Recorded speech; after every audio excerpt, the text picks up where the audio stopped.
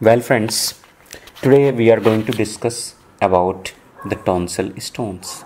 Yes, tonsil stones. As here you can see, these stones are also known as stink balls. They are made up of calcium, sometimes phosphorus.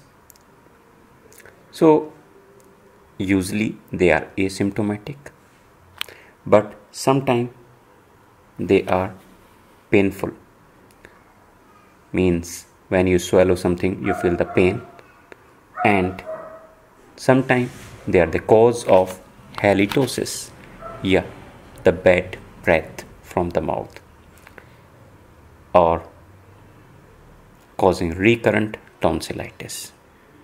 They appear white or yellowish as here you can see. Formation takes place when some bacteria as a nidus. When asymptomatic, no treatment is required. Gargling with lukewarm water.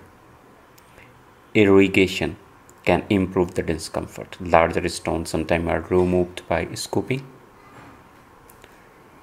Removing them by the toothpick, q-tip or oral irrigation. Sometimes the laser is required to decrease the surface area of tonsils and sometimes tonsillectomy is required. Thank you for giving your valuable time.